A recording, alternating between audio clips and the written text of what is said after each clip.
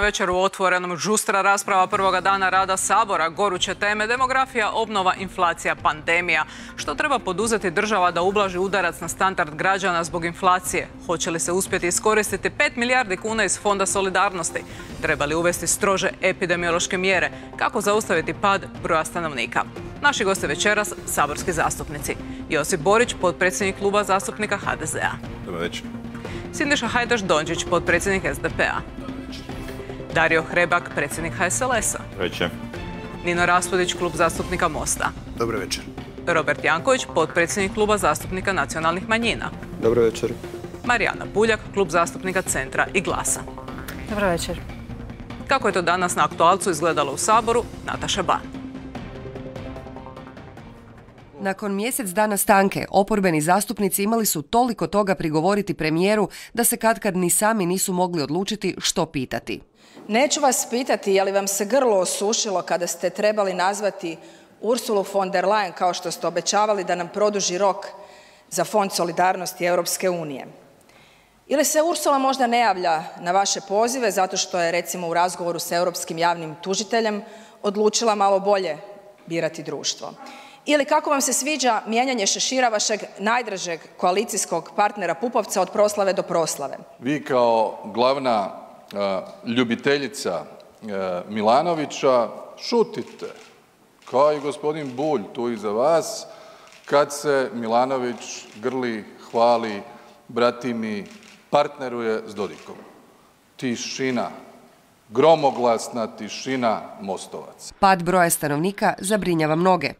Hoćete li hitno raspustiti aktualnu Vladu i okupiti sve političke snage u zemlji, ali i stručne i znanstvene koje mogu pridonijeti rješavanju ovakvih pogubnih tendencija Da ja pokušam dešifrirati ovo što vi kažete, jel to vi kao desetgodišnji HDZ-ovac nudite nama koaliciju? Ja jedino to tako mogu pročitati. Ljudi su otišli zbog politike vladajućih, smatra Sandra Benčić i osvrnula se na nedavni skandal u HNB-u. Dakle, vi ste svojim propisima dozvolili da zaposlenici HNB-a, ujedno i direktori HNB-a, trguju dionicama i obveznicama onih banaka koje reguliraju i superviziraju. Evo recimo baš ovo nikakve veze sa HDZ-om nema. Reputacijska šteta HNB-u putem eventualno nekih poteza ili propusta vodstva trebala možda dovesti u pitanje hrvatsko članstvo u europodručju, ja ću pustiti vama da vi to analizirate.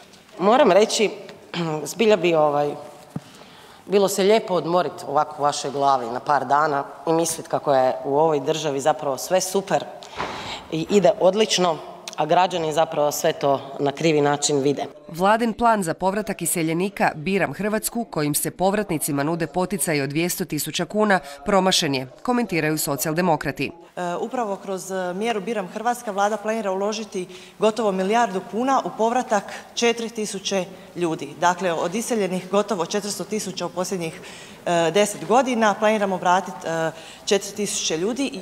A ja sam prošao i kao bivši iseljenik i netko od koje se vratio u Republiku Hrvatsku i gdje i bio sam veleposlanik u važnim zemljama.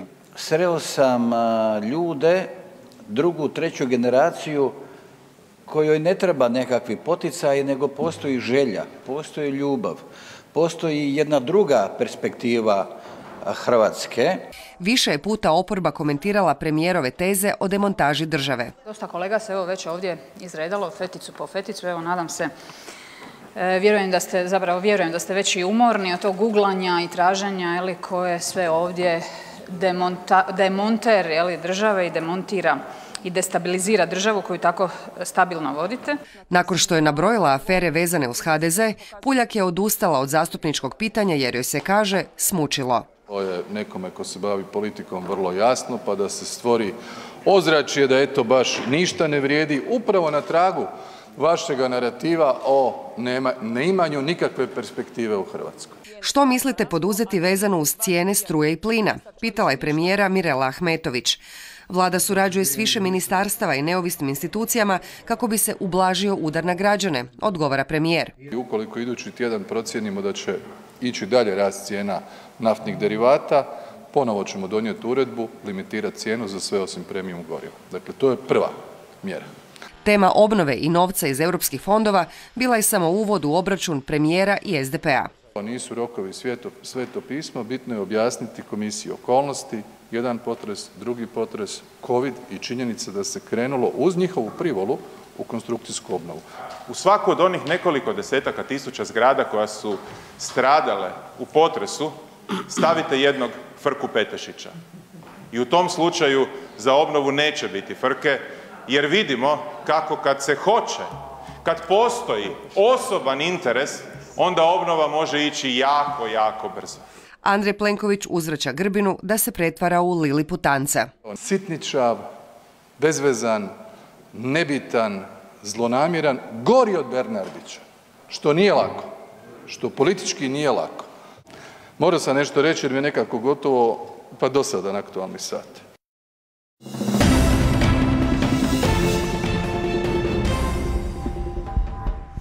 Što treba poduzeti država da ublaži udarac na standard građana zbog inflacije? Pitanja na Facebook stranici otvorenog komentirajte. Vaše komentare objavit ćemo kasnije u emisiji. E, gospodine Boriću, dakle 5,5% inflacija u prosincu, rastu cijene hrane, prijevoza bez alkoholnih pića. Zaista se to značajno sada osjetilo u prošloj godini. E, Vlada najavljuje da će smanjiti eventualno PDV na prirodni plin. Je li to dovoljno? Pa evo, mislim danas da je premijer vrlo jasno naznačio na aktualnom satu koji je smjer vlade i koje će se odluke donositi u vremenu koje je ispred nas. Svima nam je jasno znači da cijena energenata poprilično diktira određene situacije koje imamo i u prehrambenoj industriji, sada vidimo i u prometu i tako dalje i mislim da će vlada učiniti u sljedećem tjednu ono što je najavio premijer da ćemo moguće donijeti opet uredbu kojom ćemo limitirati cijenu goriva osim premijom goriva ukoliko se pokaže da bi ta cijena još mogla rasti iznad ovih rekordnih koje sada imamo. Što se tiče samog plina, mislim da ćemo e, kroz vrijeme jasno pokazati što smo učinili jer e, mi kad smo došli na vlast 2016. godine u prvom mandatu već tada smo pokušali reagirati i kroz cijenu električne energije u smislu da smo smanjili PDV na račune i tako dalje. Znači, pokušavali smo zaštititi uvijek standard građana. Mislim da će se to desiti i u budućnosti. Već smo u desetom mjesecu najavili prije sezone grijanja da se cijene neće mijenjati kad govorimo o cijeni plina i grijanja do prvi četvrtog ove godine, kao ni cijene električne energije. Mislim da se vlada na taj način i ponaša. Koje su mjere koje će se donositi u sljedećem razdoblju pokazat će evo, vlada kroz svoje odluke, ali mislim da i smanjenje PDV-a, možda i na još dodatno smanjenje kad govorimo o cijeni električne energije ili moguće e, određene druge Hrana aktivnosti. nije opcija. Pa i tu smo radili određene, e, kroz porezne reforme koje smo imali u proteklim godinama, određena smanjenja PDV-a. Ali mislim da će, naravno, pustimo nešto i vremenu da pokaže što će se događati i mislim da će vlada upotrijebiti sve one elemente ili mogućnosti koje ima da zaštiti sada građana i to smo do sada pokazali. Prvi smo otvorili temu inflacije koja očito dolazi, ne da dolazi, nego se ona već vidi. Ako pogledate samo ove cijene nekretnina u Zagrebu, recimo koliki je skok, jasno je da je to već inflacija koja, koja se valja uh, ulicom. I doveli smo guvernera HNB-a u Sabor koji nam međutim nije dao nikakve konkretne odgovore. Mi ćemo podržati sve predložene mjere koje će biti razumne i koje će ići u korist naših građana. Mi smo na strani apsolutno slobodnog tržišta, međutim sa cijenom energenata se događa nešto jako čudno. Meni je znakovita bila izjava gospodina Šterna, koji ima valjda 50-60 godina iskustva u energetskom sektoru sa svih strana, koji je rekao da po svem onome i njegovom znanju i golemom iskustvu u tom sektoru da on ne može sebi objasniti neke procese. I rekao jednu znakovitu stvar da sada cijena plina će rasti zato što neko odredi da će ta cijena rasti. Ili ako pogledamo omjer cijene barela nafte i toga gdje je gorivo e, danas, puno je stvari tu nejasno. Ono što je nama zabrinjavajuće je što na razini Evropske unije nije došlo do adekvatnog odgovora. Nama je predsjednik vlade danas prezentirao izvješće o sastancima Vijeća Evropske unije održanima prošle godine. Na jednom sastanku koji je bio u listopadu se otvorila ta tema cijena plina gdje je Plenković rekao samo to da mi plini onako promatramo kao prelazni energent prema e, održivim izvorima energije. Dakle, ako nema kruha, jedite kolače, što je skandalozno. Propuštena je ta prilika da se na razini Europske unije vidi što se po tom pitanju može učiniti da se zaštite građani, prije svega oni koji će se naći u situaciji energetskog siromaštva. Čuli smo najavu vlade i to pozdravljamo da će se dati neki vaučeri najugroženijima ako se procjeni da će to biti kratkoročna ili srednjoročna situacija da ljudi barem prežive, da ne padnu ispod granice siromaštva. Gospodine Hreba, kako pomoći građanima i naravno kako, pomoći poduzetništvu i gospodarstvu koje već i kako trpi zapravo posljedice tog rasta energenta? Da, evo recimo mene su konkretno danas zvali neki poduzetnici kojima je plin poskupio tri puta više, dakle sad u 12. mjesecu i znate što to znači.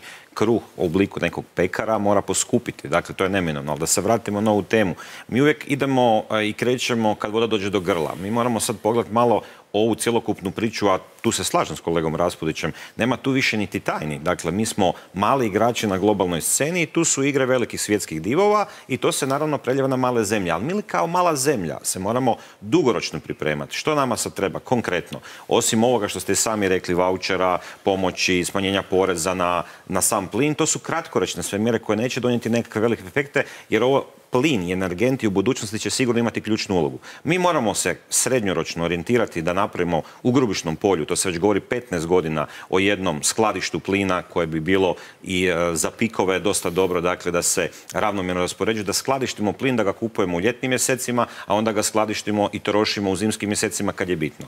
I ona dugoročnija priča, kombinacija, ovo što ste rekli, obnovljivih izvora energije, primjerice geotermalne energije, mi imamo, to malo ljudi zna, 500 MW struje na raspolaganju u obliku kroz geotermalnu energiju i barem 3 do 4 puta više toplinske energije. Ali isto tako ne možemo plin samo tako izostaviti, nego to mora biti kombinacija jednog i drugog ali nedostaje nam strategija dugoročna energetska kako na koji način ovako jedna mala zemlja može biti koliko toliko samodostatna e, i da, da odoli ovakvim izazovima kao što imamo upravo danas kad se veliki svjetski igrači zaigraju. Ma evo u prilog ovome je samo jedan mali podatak, vrlo zanimljiva. To je da je 2015. godine 55% plina je bilo iz domaće proizvodnje.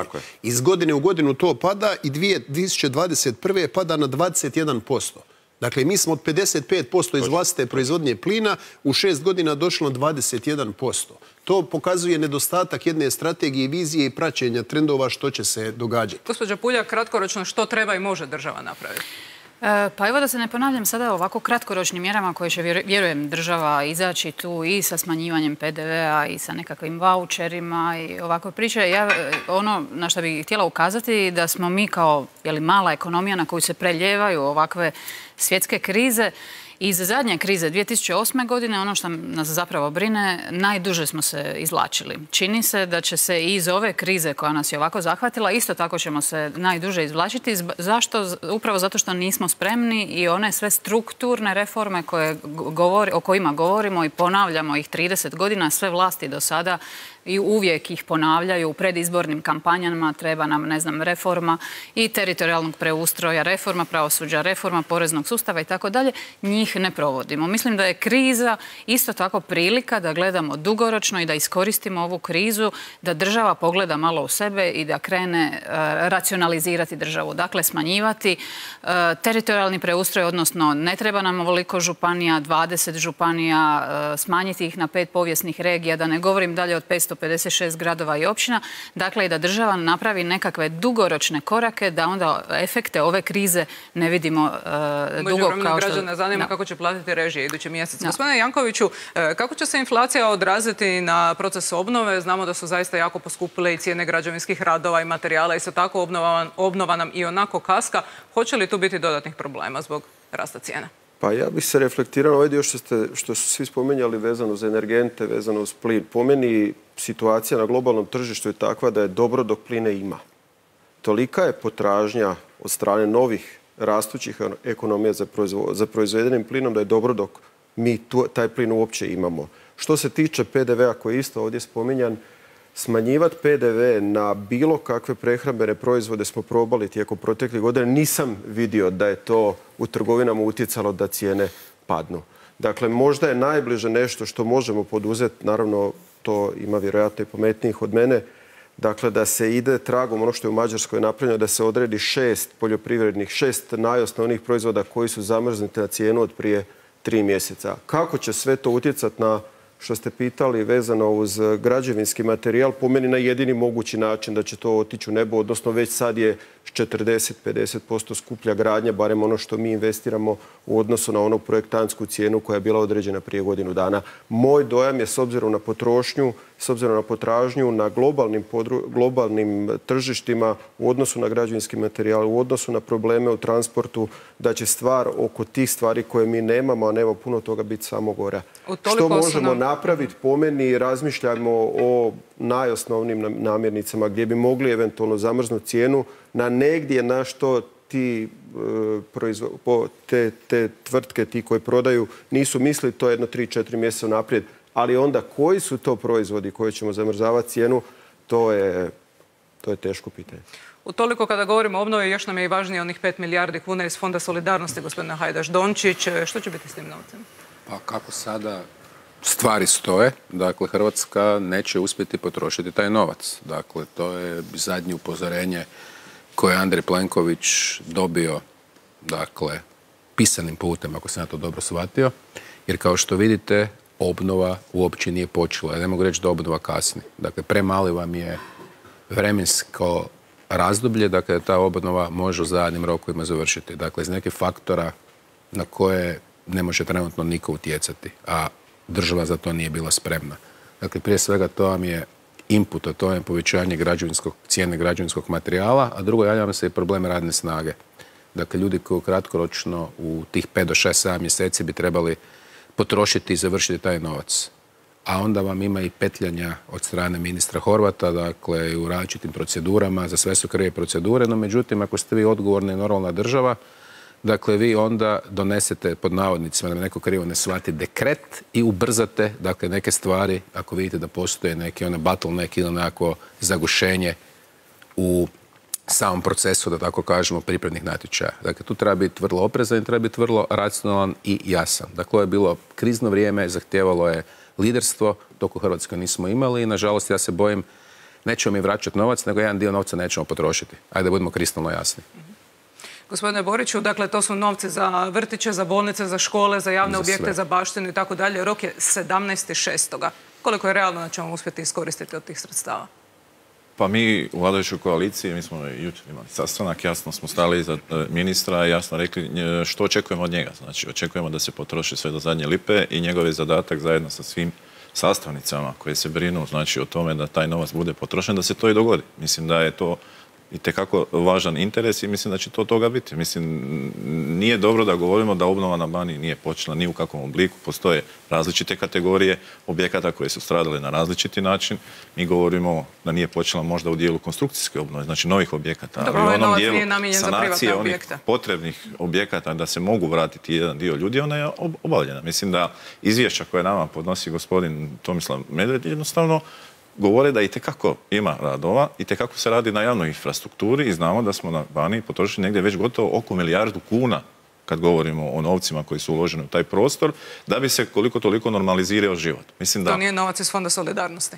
Jedan veliki dio moći će se, govorimo i o cestama, i o javnoj rasvjeti, o elektrifikaciji i tako dalje, to su sredstva koje će se itekako moći koristiti. Znači, ovdje se pokušava stvoriti dojam da, da se ta sredstva treba uložiti samo u privatne kuće, što nije uopće na taj način zamišljeno, niti će se desiti na taj način. Znači, znamo ko brine o obnovi, konstrukcijskoj obnovi kuća, a što se događa znači, u javnom sektoru pokazat će vrijeme. Mislim da pogotovo u dijelu petrinskog potresa i kako imamo više vremena nego i manji iznos, neki 120 milijuna eura ako se ne varam, a više nam je problem u Zagrebu, znači u ovom dijelu gdje i grad Zagreb treba nositi jedan dio svoje odgovornosti gdje imamo 640 milijuna eura. Vidimo da je gradonačelnik sa svojim službama već odustao od jednog dijela kojim je bio namijenjen, ali to ne znači da ne možemo uh, uh, i tekako u ovih pet mjeseci napraviti iskorake da se potroši taj novac. Mislim da ne trebamo unaprijed govoriti jer mi imamo preko 8 milijardi... javne nabave u Hrvatskoj to iskoristiti. Da, ali mi imamo preko 8 milijardi ugovorenih radova. Znači, treba vidjeti što se tu događa i ne bih tako olako pristavio na priču nećete vi ništa napraviti. Mislim da pustimo vrijeme, imamo još šest mjeseci da se mogu vidjeti gdje su ti troškovi nastali, gdje su se uložili i što će se još događati u ovih šest mjeseci. Samo jedna replika Dakle, samo molim vas, dakle, nemojte samo gledati obnovu Banije, samo kroz zidanje beton i cigle. Dakle, ovdje se trebalo raditi jednom širom konceptu revitalizacije cijelog prostora koji omogućava ljudima da ostanu živjeti, jer to pasivan kraj pod navodnicima se niko ne uvrijedi. Drugo, da se stvori neki novi poslovni nastan i da se omogući socijalna infrastruktura. Jer ako ćemo mi napraviti Potankinova sela, ako ćemo raditi katedrale u pustinji, dakle što su neke zemlje, Francuska i Italija, povijesno radile, na kraju iz tih građevina nije ostalo život.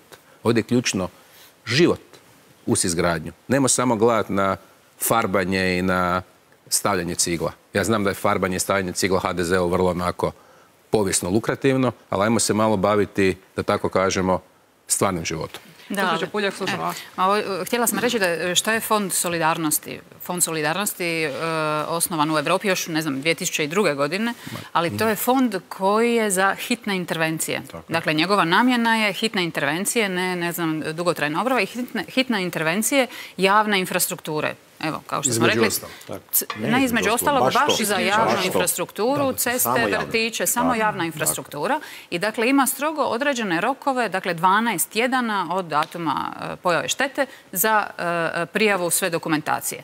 E, sad, gdje smo mi upali u problem? Upali smo u problem sa zakonom o obnovi, e, koje, koji ne može svu dokumentaciju, dakle sve procedure je dodatno komplicirao u odnosu na one postojeće, dakle jednostavno se ne može to sve pripremiti u tom roku. I jednostavno taj, taj fond i sva ta sredstva nećemo uspjeti iskoristiti jer evo i, i- dan danas svjedoci smo da nakon ovoliko vremena koliko je prošlo, je li e, po tom zakonu koliko je uopće obnove potaknuto, koliko je ob- obnove e, napravljeno, ništa. Ja evo opet napominjem, jedina četiri glasa u Saboru kontra, dakle protiv ovoga zakona obnovi jer smo već tada vidjeli da je jednostavno neprovediv ovakav zakon kako je postavljen, su bili upravo evo iz kluba Centra i Glasa i e, zastupnik u Fokus. gradskoj upravi, dakle jedinica lokalne samouprave koja može baratati sredstvima Fonda solidarnosti. Koliko imamo problema u natječajima javne nabave, koliko je stvarno realno do lipnja se iskoristi tih novaca? Pa evo, hvala što ste postavili to pitanje. Ja svaki dan doslovce to radim i mi smo stvarno evo četiri godine za redom među 10% najuspješnijih po izvlačenju sredstava i znamo o čemu pričam. Slažem se s kolegicom u jednom dijelu da je zakon. Gledajte, mi liberali već dugo govorimo o onome što je ključni problem ove zemlje. Umjesto velikog državnog aparata, preregulirane i birokratizirane zemlje, nama treba brz, efikasan, učinkovit i digitaliziran sustav. Naime, što se događa? Naša birokracija koja je glomazna ponaša se kao crno-bijeli televizor u vremenu smartfona, u vremenu umjetne inteligencije i tako dalje. Dakle, javna nabava, samo javna nabava za odabir projektanata vam treba barem jedno dva mjeseca. Javna nabava za odabir građevinskih radnika četiri mjeseca. I još dodatni svi postupci koji jesu. Mi smo se evo sad konkretno prijavili na ovaj drugi potres jer je vlada omogućila se i Bjelovarsko-bilogorska i Varaždinska i Brodsko-posavska i neke županije dodatno uključeni i naši objekti su stradali, ne u toj mjeri kao što je ovdje. Dakle, mi imamo svega godinu dana da taj cjelokupan proces završimo. To će biti jako, jako teško. Međutim, slažem se s kolegom Borićem. Nije i nemoguće. Može se to napraviti. Mi smo jučer imali koalicijski sastanak, trajao je dva i pol sata. Mislim da je ministar Hora dobio jasnu poruku od svih koalicijskih partnera, jer svi koalicijski partneri, uključujući i premijer, smo izrazili određenu dozu zabrinutosti za sve i moramo dinamizirati procese, to je sigurno. Ovo je isto tako kolega Raspudić krivo rekao. Dakle, moramo jasno i precizno govoriti o onome što je. Fond solidarnosti, kao što je rekla kolegica Puljak, je isključivo namijenjen za javnu infrastrukturu. Dakle, mi imamo jedan segment problema, a to je otprilike nekih 5000 ljudi koje se mora smjestiti, dakle njihove kuće, i onaj segment javne infrastrukture koji nam je omogućen da iscrpimo upravo iz ovih europskih fondova. I tu država mora biti brža, mora biti efikasnija, mora biti učinkovitija i mora pojednostaviti kompletnu proceduru. Ja se, ja se slažem Mhm. sa svim što uh, kolega Hreba govori, ali ne slažem se s onim za što on glasa. Vi sjajno i lijepo to formulirate, ali zvučite kao oporbeni političar. Mi nismo glasali za taj zakon, nismo glasali protiv, jer smo Ste procijenili da je bila loša politička poruka, ali nismo glasali za taj zakon. I upozoravali smo u suradnji sa strukom gdje je problem. I problem se poslije pojavio. E, intencija osnovna tog zakona je bila e, e, centralizirana kontrola nad tokovima novca. Bilo da je bilo primisli da se tu koristi, bilo da se e, e, e, poslovi usmjeravaju u svojoj e, gospodarskoj klijenteli. U situaciji gdje je bila svijest o fondu koji daje 5,1 e, milijardu kuna, trebalo je zakon napraviti tako da se omogući maksimalno iskorištavanje tih sredstava. Pa imamo cijevi vodovodne u Zagrebu koje pucaju, vrlo razložna je teza da, da je to e, se događa, stara je ta infrastruktura, ali da je i potres utjecao na to. Pa samo na tim cijevima su se stva- sredstva mogla uzeti. Iskreno, mi bismo željeli da se dogodi čudo. i da ono što u godinu dana je 2,3% realizirano tih sredstava, da u sljedećih pet i nešto mjeseci se realizira još 80 ili 90 ili 97%. Ali bojim se da se to čudo neće dogoditi i da će veći dio tih sredstava ostati neiskorišten.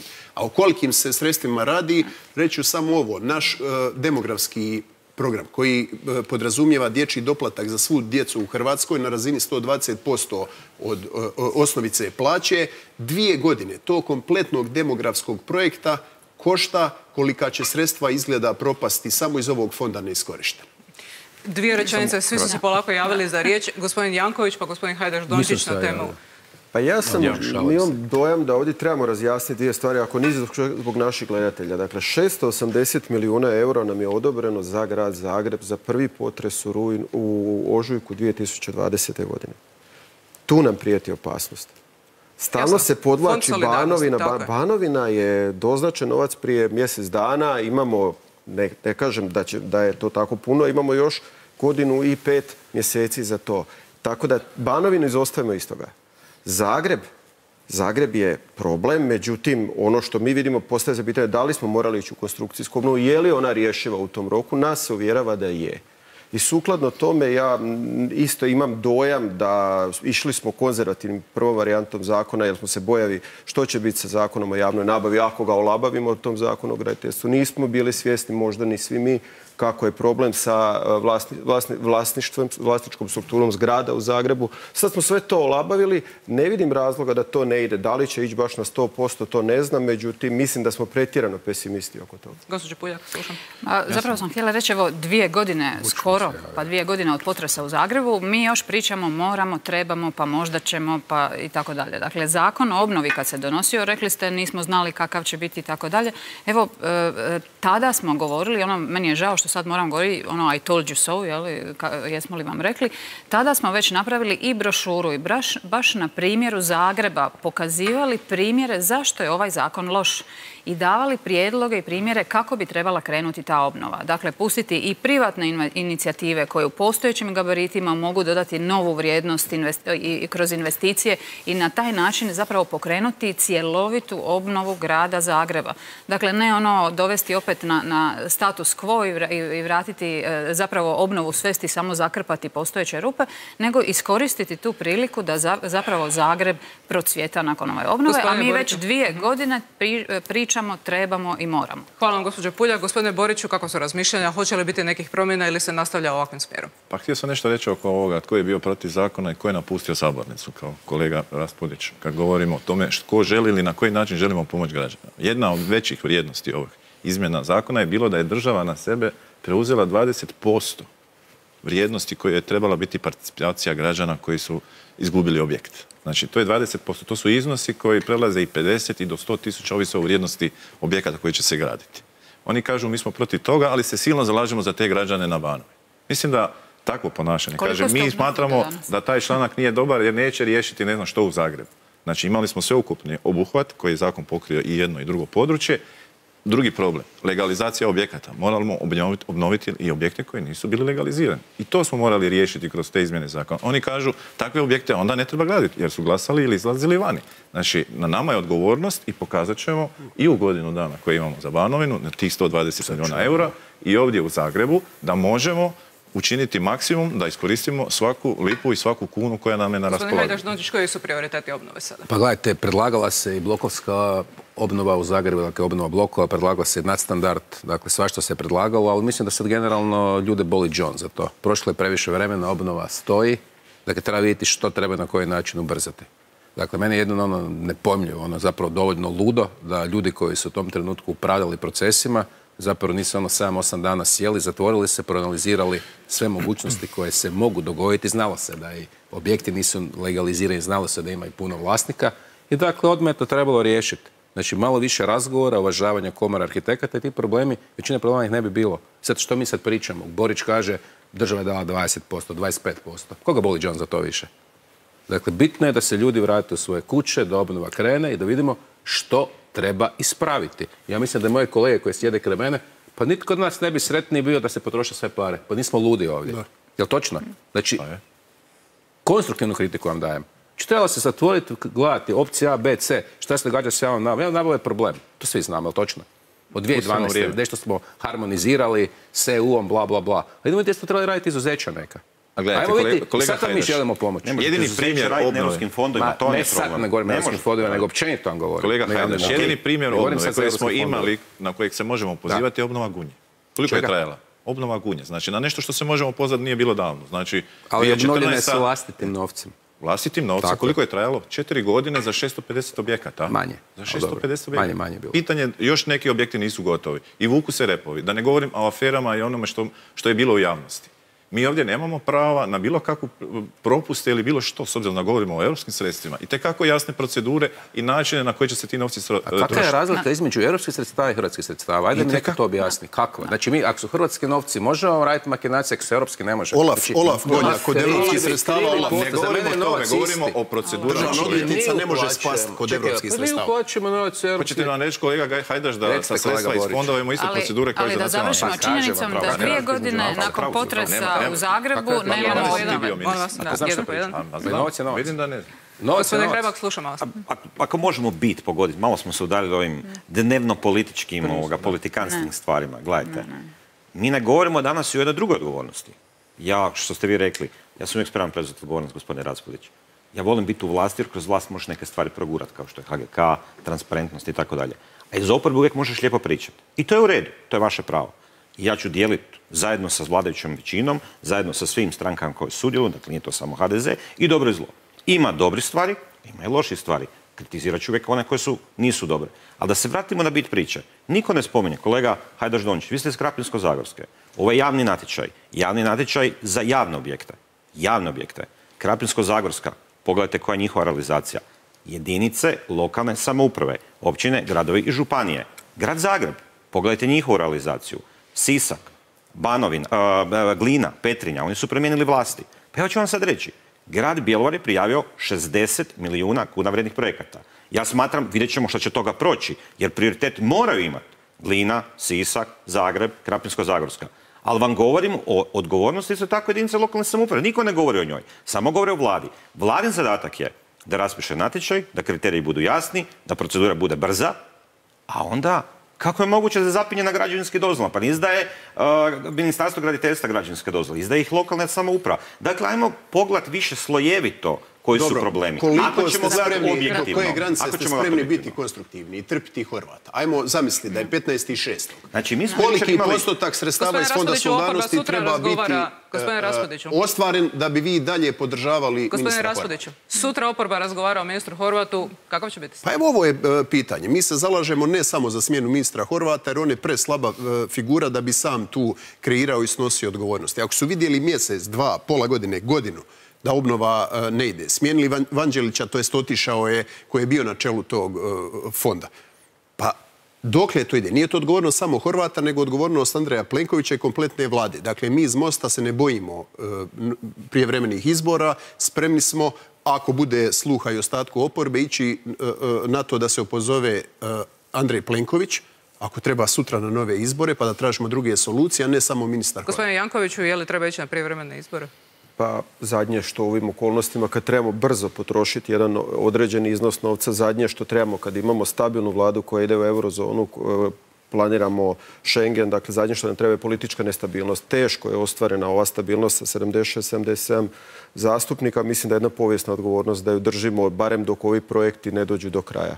Tako da ja, ja bude li naravno inicijativa oporbe za opoziv ministra Horvata ili za opoziv cijele vlade, mi, mi ćemo biti protiv toga. Ja ću biti protiv toga. Idemo na druge brojke, one koje smo vidjeli danas, više od 16 tisuća novih slučajeva zaraze koronavirusom, zajedno kad se zbroje PCR i antigenski testovi. Također je bilo govora, gospodin Hrebak, jučer na sastanku koalicije o tome. Je li točno ste rekli da smatrate da bi trebalo ukinuti COVID potvrde? Pa da, dakle, ono što je dobro, premijer nas svakog utorka okuplja i sluša, prijedlozi su uvijek na stolu. Dakle, ja sam rekao javno jučer na koalicijskom sastanku ono što je i Izrael napravio, mislim da Izrael radi dobar posao što se tiče korone, mislim da i mi radimo dobar posao, ali upravo zato što mislim da radimo dobar posao, sad je trenutak kad imamo 16.000 zaraženih, a drastično nam padaju hospitalizacije, raste nam dio testiranih, ja mislim da nema više ni potrebe testirati, jer čim vam je preko 50% zaraženih u testirama, nema potrebe. Gledajte, ja ću sad biti otvoren, uvijek govorim odgovorno, ali govorim, pokušavam uvijek govoriti zdravorazumski. Gledajte, mi moramo razmišljati i o turističkoj sezoni. Nama sad treba jednostavno da ukinemo te COVID potvrde, one su trebale biti donesene kad su bile donesene, sad je vrijeme da se one ukinu, to sam predložio na sastanku vladajuće koalicije. Mislim da isto tako se trebamo polako pripremati turističkoj sezoni, pa treba neko reći javno. Nama je sad cilj da uz cijepljenje dodatno ojačamo imunitet da ovaj omikron koji sad definitivno dominira, sad definitivno vidimo da nam padaju hospitalizacije, a raste broj oboljeli, znači ipak je omikron blaža varijanta. Ja mislim da je sad vrijeme da o tome treba razmišljati. Hoćete li glasati za na referendum onda? Imašte sad referendum kao građani, zašto je vas Mislim da je to dobra stvar. Kao građani Republike Hrvatske imate referendum, vi ste protiv COVID potvrda, zaokružite za... Prije referenduma, gospodine Boriću, hoće li HDZ podržati ovaj prijedlog? Samo malo, gospodine Raspudiću. Gospodine Boriću, je li HDZ spreman podržati takav prijedlog? Pa ja evo moram reći da nisam bio na tom sastanku i ne znam kakve su bile rasprave, ali od uvijek i od početka pandemije slušam ono što govori stožer i mislim da mi, bez obzira na pokušaje da se osporava rad tog stožera, imamo ono što svi u Saboru kažu ili u trenucima nadahnuća utvrde da imamo najliberalnije mjere u gotovo čitavoj Europi i da ovaj, su i te potvrde pokazale određenu učinkovitost. Koliko će one trajati, reće sam stožer. Mislim da ne možemo bježati od toga da u Europi imamo, ne znam, toliko zemalja koje sve imaju potvrde, sad ćemo mi reći mi nemamo to i tražit ćemo od tih turista, ako govorimo o turističkoj sezoni, da dođu u Republiku Hrvatsku i kažemo mi smo vam sigurni bez ikakvih dokaza, bez ičega i način na koji ćete se vi ovdje provesti ovisi o vama. mi smo vidjeli što imamo recimo u jednoj Splitsko-dalmatinskoj županiji, imate pozive na slobodni, ne znam, na slobodu, na koncerte i tako dalje i s druge strane pozive u najtežem danu danas u KBC u Split gdje imamo 12 umrlih, da se u taj KBC pošalje dodatne zdravstvene djelatnike, da se omogući zdravstvenim djelatnicima da mogu koliko toliko obavljati svoj posao. Znači imate različite promišljanja o tome i ne bih prilazio tome na način na koji most prilazi. Znači nemojte imati nikakve mjere, ukinite sve, a onda vas sutra pitamo, a zašto je toliko ne, mi umrlih to nemojte nam stavljati usta što nismo rekli. Naša pitanja su vrlo jasna. Znamo što smo rekli i mogu vam čitati sada tekst pitanja. Uh, Covid potvrde su bile potpuno nerazumne, kontradiktorne, sada ne idem u detalje, e, treba vam za poštu i biblioteku, ne treba vam za kockarnicu i shopping centar. U sabor ulaze kolege koje su tri put cijepljeni i dobili su koronu, ne, moraju se testirati pa mogu je unositi u sabor, a oni koji nisu se uredno testiraju. Do toga da je mjesec i po dana korona prodirala u bolnice, jer niste željeli, e, furajući COVID potvrde, testirati sve na ulazu u bolnice i staračke domove. To je ravnatelj Varaždinske bolnice potvrdio. Da bi danas Izrael, Velika Britanija, već, veći dio Španjolske, vidimo u Češkoj zaokret, išao u tom smjeru da su COVID potvrde potpuno neučinkovite, da pače u nekim situacijama i štetne i opasne. I te zemlje su imale COVID potvrde značajno široj uporabi nego mi. Gospodine Hajdaš Dončić, COVID potvrda sada da nešto kažete? Pa gledajte, dobar stari Gauss, što ja kažem. Dakle, uvijek imate jedan dio ljudi koji su pobornici, dakle, oštrih mjera, jedan dio ljudi koji definitivno odbija kakve mjere i ne vjeruje u COVID, a pitanje je načina komunikacije kako zapravo tu zlatnu sredinu potaknuti na cijepivo. Dakle, COVID potvrde su vjerovatno povijesno bile uvedene, dakle već možemo pričati jer je povijest prošla na način da stimuliraju da potaknu jedan dio ljudi koji se inače ne bi cijepio da se cijepe. I one su prikazale određeno, tako kažemo, statistički porast broja cijepljenih i u Francuskoj, i u Belgiji, i u Italiji, jer su ljudi zbog toga da mogu obavljati neke poslove, morali se cijepiti.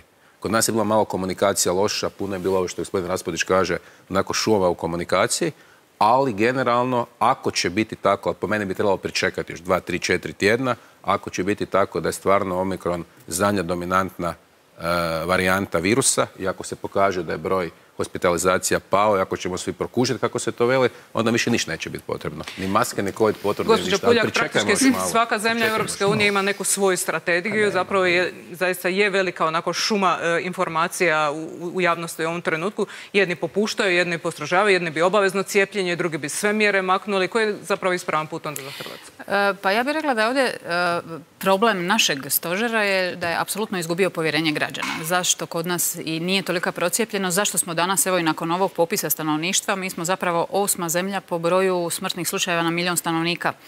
što je zapravo katastrofa. Jel? A upravo zato što je i u početku bilo kontradiktornih e, mjera stožera, pa različite primjene za različite skupine ljudi, pa su neki mogli ići, morali ići u lockdown, drugi nisu, drugi su šetali po klubovima. Pa, ne znam, sjećate se onog slučaja e, teniskog e, turnira u Zadru kad je, ne znam, doticaj po ramenu nije bio razlog za ići u izolaciju i tako dalje. Mi smo, da, high five ili šta je već Dobro, bilo. li učili svi zajedno mi s vremenom Mi smo tada već onda predlagali zapravo bilo je jako bitno vratiti povjerenje ljudi u instituciju, instituciju li onoga ko upravlja ovom krizom Predlagali smo da ovaj stožer bude takozvani stožer nacionalnog jedinstva. Ovo je najveća kriza od domovinskog rata. U domovinskom ratu imali smo vladu nacionalnog jedinstva. Zašto nismo mogli imati stožer nacionalnog jedinstva da se u njega uključe i druge političke opcije, drugi znanstvenici, drugi stručnjaci i da samo radi toga na kraju da ljudi više vjeruju e, e, politikama i mjerama koje taj stožer promovira u javnosti. Da se ne događa dakle da i, da i nismo dovoljno cijepljeni i da danas onda imamo krize evo Idemo do Facebooka, do naših gledatelja. Pitali smo ih e, što misle da treba poduzeti da bi se smanjio udar na standard građana zbog inflacije. Josip Crtila, najbolje bi bilo da se ne poduzima ništa, što više poduzima, to je stanje lošije. Žarko Mula, najprije treba smanjiti porez na hranu i ostale artikle, a posebno na mjesečne račune HEPA, plina, voda i ostalih energenata. Taj nepopularni 25% postaje utek za sve, pa i iseljavanje mnogih mladih obitelji. Milica Martinović, mislim da treba početi konačno obrazovati narod da nauči kako se novac zarađuje i kako se troši. Slavko Hadžija, sve ove goruće teme ne mogu se riješiti bez cjelovite reforme kompletnog državnog aparata, smanjenje broja županija, gradova, općina i time smanjenje rashoda državnog proračuna jer je sve manje ukupno radno sposobnog stanovništva, a sve više umirovljenika i državne administracije. Izbore dobiva sigurno onaj koji će smoći hrabrosti i provesti reformu. Tomislav Graničar, nabavljati energente treba direktno od proizvođača, a ne od raznih tvrtki prekupaca s čudnim cijenama iz vrlo čudnih državnih tvorevina.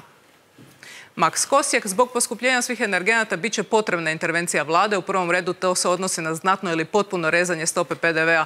Najveći izazov za vladu predstavlja podatak da je od 2011. do 2021. godine rođeno 150 tisuća manje stanovnika nego što ih je umrlo. Eko, tako su kazali e, naši gledatelji, to je jedan dio njih koji je komentirao na Facebook stranici Otvorenog. Mi smo pri kraju emisije, dame i gospodo. E, vaše razmišljanje, pitanje završno. Što mislite što je u ovom trenutku, u ovom radu Sabora do ljeta, ono što je presudno, što bi se trebala donijeti odluka i koji je najvažniji problem koji Hrvatska treba riješiti u ovom trenutku, gospodin Janković? Pa ja mislim da bi bilo jako bitno da imamo malo više povjerenja u, ekipu što vodi ovu zemlju iz razloga što dojam je da se iz ove covid krize, kao što smo čuli, izlačimo. Broj hospitaliziranih se, smanjuje unatoč broju novo zaraženih. E, smanjuje se broj ljudi na respiratu. Dakle, povjerenje da iz ovoga možemo izaći zajedno. Isto je kao i povjerenje da li mi možemo utrošiti taj novac namjenski. Ono, dakle, ta slika je nešto na čemu bi trebali poraditi svi zajedno. Da li je to Sabor, da li je to vlada, da li je to oporba. Jer imam dojam da iz toga možemo izaći dobro. Hvala lijepa, gospođa Puljak.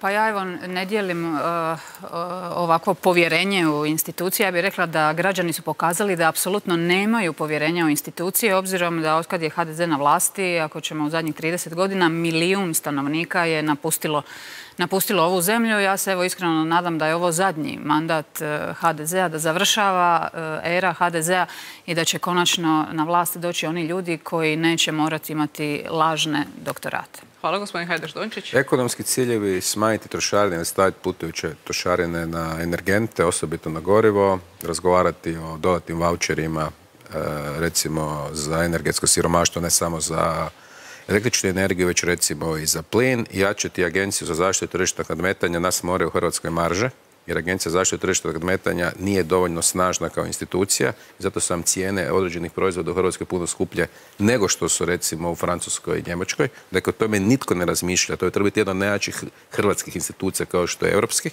kao što su europske institucije, znači to su kratkoročni, da tako kažemo, politički ciljevi, a srednjoročni politički cilj je smazati HDZ sa vlasti, metlom ih pomesti. Hvala vam, gospodin Hrebak. A gledajte, vidite, on, on oporba uvijek htjela naravno nekoga skinuti s vlasti. Pa Mi smo svjesni s druge strane odgovornosti, ovo su izazovna vremena, nije inflacija samo u Hrvatskoj, nije korona samo u Hrvatskoj, ona je u Europi. Nama trebaju sad jedan razuman, racionalan pristup hladne političke glave. Nas očekuje u idućih šest mjeseci ulazak strateški nacionalni interes ulazak u euro e, zonu i u Schengen, a s druge strane stvarno mislim da ova vladajuća većina će biti stabilna jer smo svjesni odgovornosti, lako je biti u oporbi, nemaš nikakve odgovornosti, u vladajućoj dijeliš zajedno isti kruh, nekad je dobro, nekad je lošije, treba biti objektivan, lošije kritizirati, dobro rekao bih ne treba toliko uzdizati, ali trebamo biti još bolji. Trebamo još dinamizirati, trebamo ubrzati, ali kažem, mislim da će vladajuća većina biti stabilna upravo zato što smo svjesni te odgovornosti koje imamo. Hvala vam, gospodin Raspudić.